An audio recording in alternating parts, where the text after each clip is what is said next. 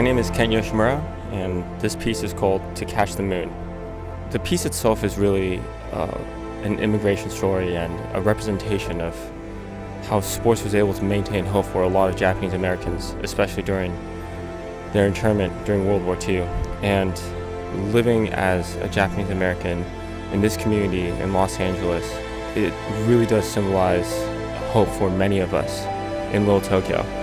While the scaffolding was terrifying and um, a, a bit more dangerous looking than we thought, it couldn't have gone any better. And alongside my partner Paul, we were able to complete it very smoothly.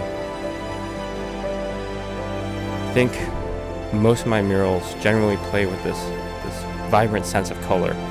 And living in a city that's overwhelmingly gray but vibrant with life and culture, I'm hoping my work is able to express a little bit of how we all feel, how we all really are, and feeling inside, living inside the walls of the city.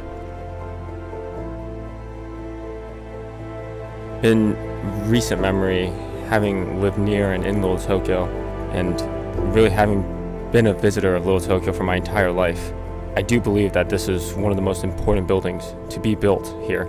It's extremely important within the community to have a space where all of us know we can gather and feel like we're a part of something. We're creating a space not just for our generation and not just for Japanese Americans, but really something that represents a hope that's much bigger for any future community that will exist within Little Tokyo.